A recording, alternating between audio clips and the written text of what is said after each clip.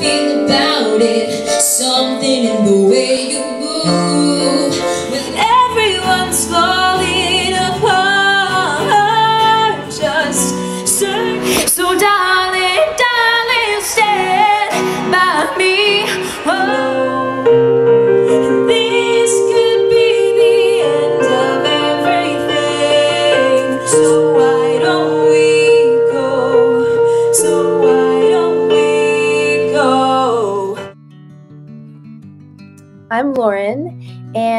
the instruments I took with Chelsea are guitar and piano, and I also took voice lessons.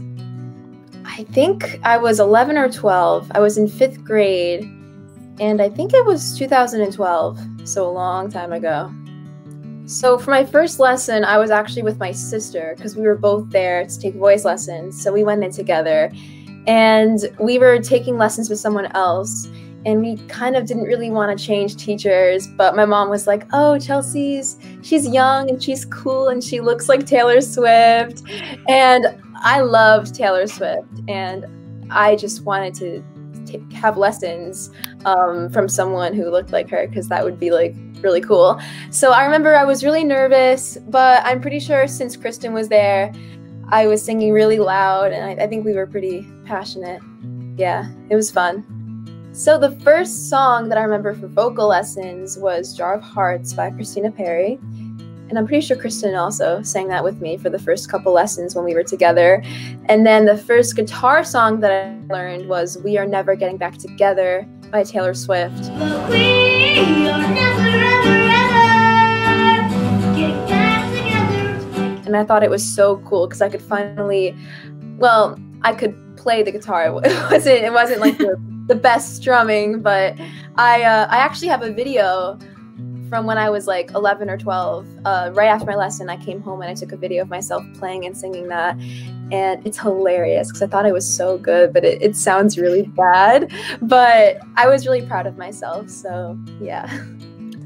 So I did rock instruction program, RIP, for two years in a row, two summers.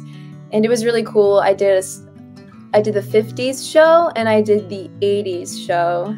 And I love them both.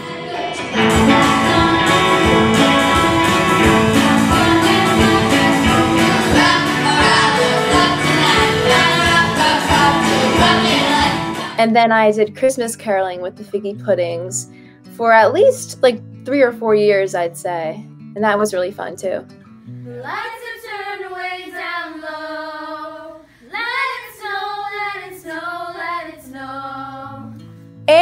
And I also did Valley Voices, the a cappella group. It was pretty short lived, but I was there the year we performed at the um, fall concert. And I remember that was a pretty memorable experience. You just have to get up, get up, get up, get up. You don't have to change a single thing. You don't have to try, try, try, try. You don't have to try, try, try, try. I really just enjoyed all of them equally, I have to say. I think RIP was really cool because we had a lot of different instrumentalists, and it was kind of cool to see people play instruments that I myself never learned how to play, like the drums and really cool electric guitar stuff. And it was kind of cool to observe them learning the process as well. And I also really enjoyed the caroling and the a cappella because I am a really big harmony person, and it was always my job to come up with the crazy harmonies.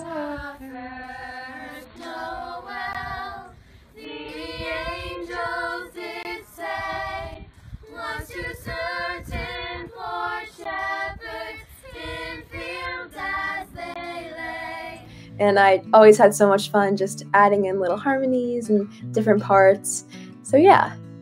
So, my favorite song that I've ever learned with Chelsea has to be Black Horse and the Cherry Tree. No, no, no, no, no, you're not the one for me. Black horse in a cherry tree. I might not get there cause my heart's forsaken me. Because not only was it one of the more challenging strum patterns I've ever learned, but it's just the song, it's my go to song for any performance, open mic. And I just remember she would do it at some open mics, and I would think in my head, that that sounds like so cool, but it's probably too hard for me to learn. And then once I learned it, I was just so proud of myself and it's always been a fan favorite. So I would definitely say that song. All right, so the hardest song that I remember learning was probably Dream a Little Dream of Me. And at that point I was pretty advanced not advanced but I, I kind of knew what i was doing on the guitar but i was i was really used to just like simple chords but it had some bar chords in it and it had some jazzier chords that i wasn't used to. So yeah that was pretty challenging during the time that i was learning it. So my favorite student performances the first one was actually my first concert and it was the winter concert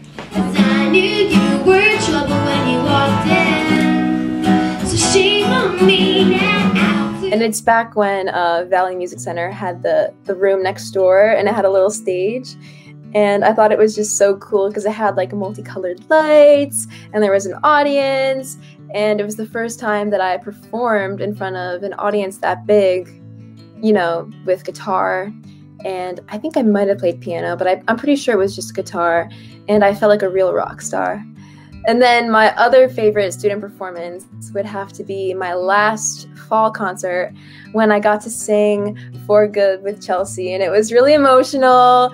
And my grandma was like crying in the audience. And it was just a lot of fun. And I'll always remember it.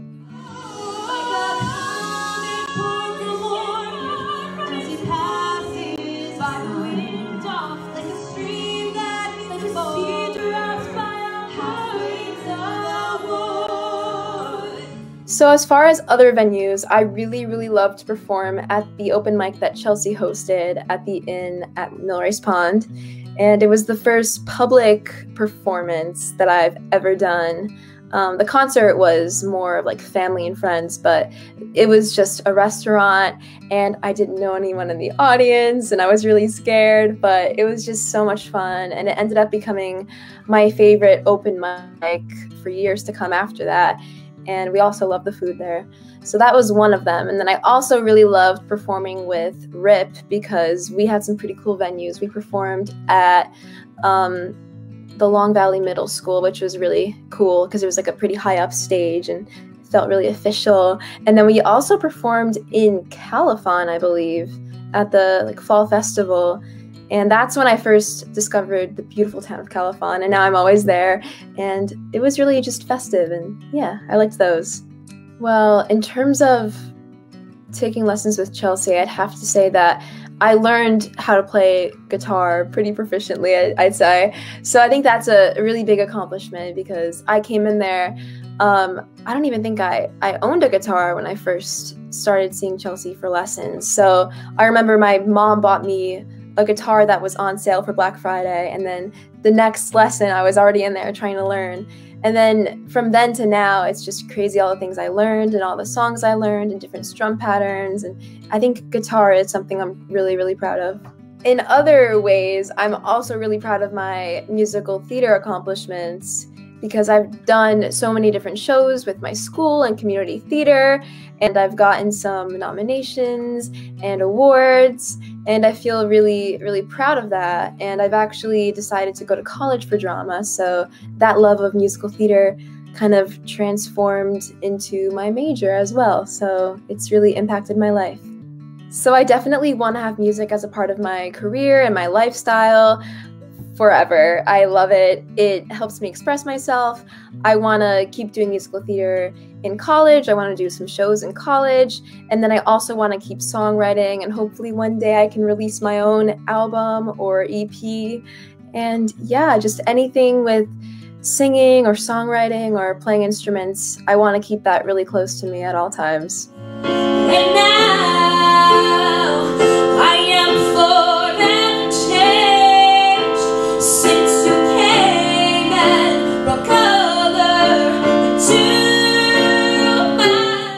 One of the biggest lessons I've learned is don't give up. Even if in the beginning it seems like there's no room that you'll ever improve because it's just so challenging or it, it takes so much time to put in all the practice hours. But if you really stick to something, you can end up being very proud in the end. And, you know, looking back, you'll see how much you progressed, and it's a really, really good feeling. So never give up. And also, music is really powerful, especially when you're sharing it with others, whether it be in a duet or even, you know, taking music lessons from another person who loves music or especially performing in front of an audience. Music is just so powerful and it transforms people and it's really healing too. Well, my advice is don't be afraid to ask questions and to really make sure that you understand exactly what Chelsea is teaching you at all times because it can be really challenging when you're first starting off with voice or an instrument because it's something you're new to. So just ask as many questions as possible and also practice every single week. I know it can be really hard to find time, especially with school and other activities, but it's so, so important to really put in those hours because then you'll be confident enough to perform in front of people and you won't be second guessing everything. And yeah, just really stick with it because it, it's a really big payoff in the end. So, if you really want to pursue music, you have to do anything in your power to get yourself on stage, to get your name out there, to get people to watch you. It can even be small open mics. Like, I've done open mics at restaurants where there's literally only two people in the audience, and one of them is the waiter. But just getting your name out there um, getting a YouTube channel, maybe an Instagram account, some sort of social media where you can post covers and you know showcase your performances and just really make a name for yourself because you know there's a lot of people in this industry who want to do music and it's pretty competitive sometimes and it can be kind of you know sad when you feel like you don't have a lot of opportunities to really show your true potential. But as long as you're really willing to just get on stage and show everyone what you can do and share your love of music, you're going to be really proud of yourself, and other people are going to recognize you as the musician that you are.